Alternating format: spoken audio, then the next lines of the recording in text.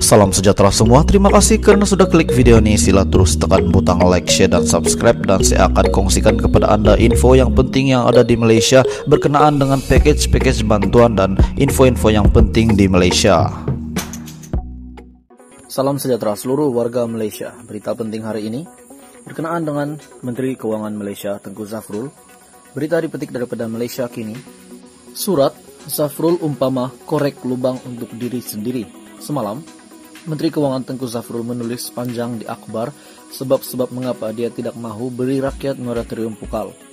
Secara ringkas dan mudah faham, dia kata sebabnya ialah kerajaan telah beri macam-macam bantuan kepada rakyat. Oleh itu, memberi moratorium pukal ini seperti terlebih beri bantuan kononnya, umpama pakai tukul untuk pecah kacang. Oleh itu, jika kita tafsir perumpamaan Zafrul ini, masalah rakyat berkenaan pinjaman bank ini kononnya umpama kacang saja tidak perlulah hendak bantu lebih-lebih. Dan dia kata dasar moratorium pukal ini adalah dasar yang populis. Oleh itu dia kata lagi, hanya kerana kita, kerajaan boleh bantu, tidak bermakna kita, kerajaan perlu bantu. Dan sekali lagi dia kata, dia Menteri Keuangan tidak ada kuasa untuk arah bank-bank untuk beri moratorium kepada rakyat.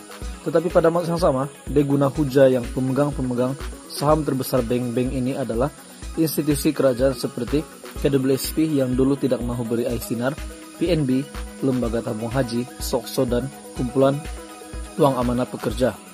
Oleh itu dia lawan hujahnya sendiri.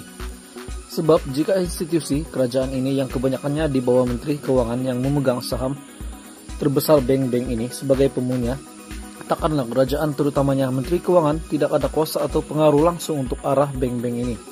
Kenyataan Zafrul ini tidak masuk akal mengarut dan kebudak-budakan. Jika kita ikut kenyataan Zafrul ini, maka Zafrul umpama mengaku bahwa dia adalah Menteri Keuangan yang paling lemah dalam sejarah. Mungkin sama lemah dengan Menteri Keuangan RM30 sebelum dia semasa era 22 bulan dahulu.